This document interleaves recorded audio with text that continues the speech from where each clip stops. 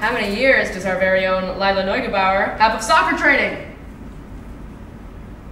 Uh oh. Didn't she play it for all of high school? Yes. But maybe more. Like, to be captain of your high school soccer team, you You have, have to to be playing for like at least seven? Am I right? Am I wrong? It's more than that? Lila, I'm so sorry.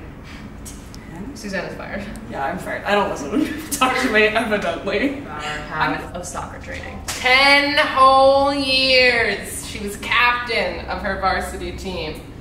She's so good. It's true, but I think if my intel is correct.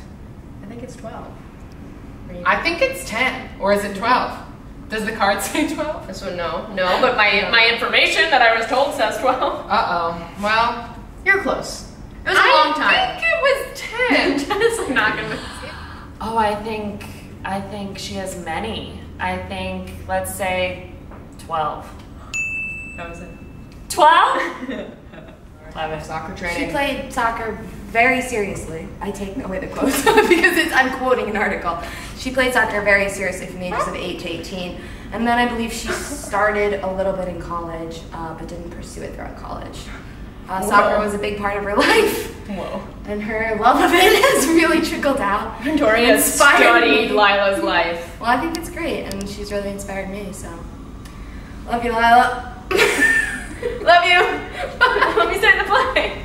Oh, I'm in the play. My name's on the poster. it's over. There's no changing that. It's true. I don't have an understudy, guys, so good So, luck. Here we are. Here we are. All right. Come see the Wolves. We're at Duke on 42nd Street, August 29th through September 24th. We want to see you there. Come play with us.